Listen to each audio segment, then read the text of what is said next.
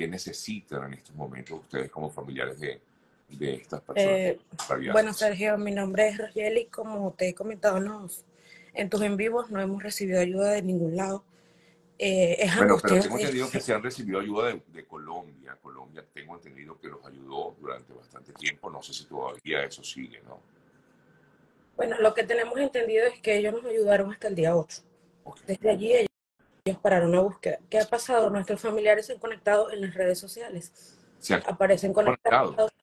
Aparece que han revisado nuestros mensajes y esto nos da señales de que ellos están con vida y no hemos recibido ayuda de ningún lado, de ningún lado, eh, de ningún gobierno y no es justo.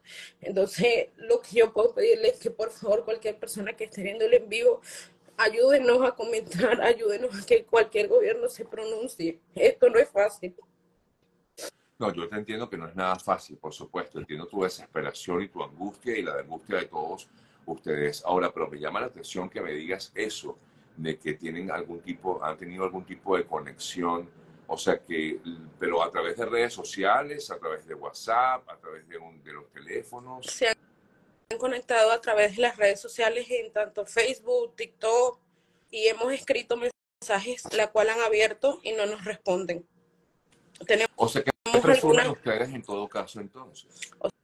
O sea, no podemos presumir nada porque no tenemos ninguna prueba que nos diga si están en cautiverio o cualquier cosa. Simplemente le pedimos a cualquier gobierno que por favor nos ayude con la búsqueda. Nosotros sabemos que ellos están con vida. Sergio, no fue normal que hayamos encontrado ocho pasaportes en una sola bolsa con un número de teléfono. Entonces, Nicaragua no nos ha prestado el apoyo, Costa Rica tampoco. Nosotros hemos buscado por nuestros propios medios y no hemos recibido ayuda de ningún lado. Sí, lo sé, estoy al tanto de ello, sé que han eh, exigido esa ayuda. Y eh, con respecto a Venezuela, ¿han tratado de contactar a algún representante? bueno, eh, hay una persona, hay una persona que fue llamada desde Miraflores, creo, pero le dijeron que nosotros teníamos que poner la denuncia directamente desde Colombia, la cual lo hemos hecho, pero ha quedado así. Solamente nos dijeron que ellos habían parado la búsqueda a los ocho días y ya. O sea, a nuestra familia no les importó, no les importa que se han conectado en las redes, que eso nos dan señales de que están con vida.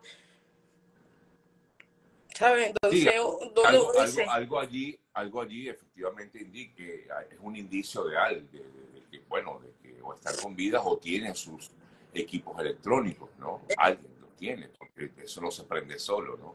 Eh, y no solamente una persona, sino varias varias personas tenemos los capturas. De hecho, ayer eh, cambiaron el TikTok de una persona, subieron un video de una niña que hemos tratado de estar investigando, pero como te digo, no recibimos ninguna ayuda de nadie, de nadie. Simplemente lo estamos haciendo nosotros mismos, los familiares, y oye, yo siento que es un poco injusto.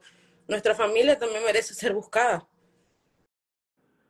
Sí, sí, yo te entiendo perfectamente. Por supuesto que hacen esta voz de, de clamor, básicamente, a los gobiernos tanto de Nicaragua o Costa Rica, que porque en teoría pues estarían eh, donde fueron encontrados. Exacto, desde, desde el mismo Colombia, desde el mismo Colombia, porque ni, ni, el, ni el presidente Petro se ha dignado por lo menos a contactar a cualquier familiar, a decirle, oye, ¿en qué podemos ayudarlo? Sabemos que salió desde Colombia, desde, desde San Andrés.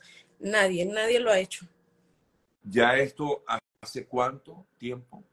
Ya hoy tiene 23 días. 21 de octubre. Un poco más, creo. ¿El, el, qué? Desde el 21 de octubre. 21 de octubre. ¿Qué familiares estaban en esa embarcación tuyos? Tengo mi tía, mi prima y mi primito de 8 años.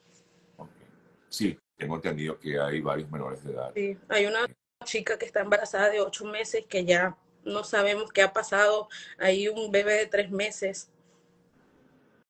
Wow, qué duro muy duro y bueno, haber tomado esa decisión y luego tener que vivir esta experiencia es nada agradable, definitivamente. Realmente no es nada grato, esto se siente una angustia, no sabemos cómo ellos puedan estar y es más angustiante saber que no tenemos ayuda de nadie, ¿sabe? Hemos intentado poner por todas las redes, por nuestros propios medios, pero nada.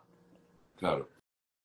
No, yo te entiendo y como te comento, o sea, para uno pues tampoco es fácil porque no tenemos mayor alcance de lo que ya pues hemos hecho, de publicar información acerca de, lo ocurrido, de conversar con algunos de ustedes como familiares, ya lo hemos hecho, entonces tú dices, ¿hasta dónde vamos a llegar? ¿no? ¿Hasta dónde podemos llegar? Pero comprendo perfectamente tu situación y entiendo que siempre te conectas conmigo, cosa que te agradezco, eh, tratando de llamar la atención y bueno, aquí estamos, por lo menos hicimos este contacto a ver qué, qué, más podemos hacer y hacer, como tú dices, ese llamado a, a, los gobiernos para que aparezcan estas personas, 38 personas, ¿no? Si no me...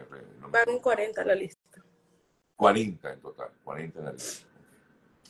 Tenemos... Te agradezco. Además que hay también un, bueno, son, un poco, son un poco delicadas y no sé si yo podré tener alguna conversación contigo al privado, donde yo te puedo mandar algunas cosas, porque son cosas muy delicadas, pues entonces no... No, tranquila, no hay cosas que no se deben decir públicamente, solamente con lo que dijiste está bien, podemos, podemos de alguna forma elevar la, la, voz y para que esto no se quede callado y no se, y no se muera, porque justamente, claro, el tiempo va borrando, entonces con tantas cosas que ocurren es inevitable el cambio para ustedes no. Nosotros como familia, aunque bueno, Nicaragua nos dijo que ellos pararon, Colombia paró la búsqueda a los ocho días, pero una vez pasan los 30, ya eso queda así, como si nada pasó, y es lo que no queremos, porque, o sea, nuestros familiares como que nos están dando señal y no hemos podido hacer nada.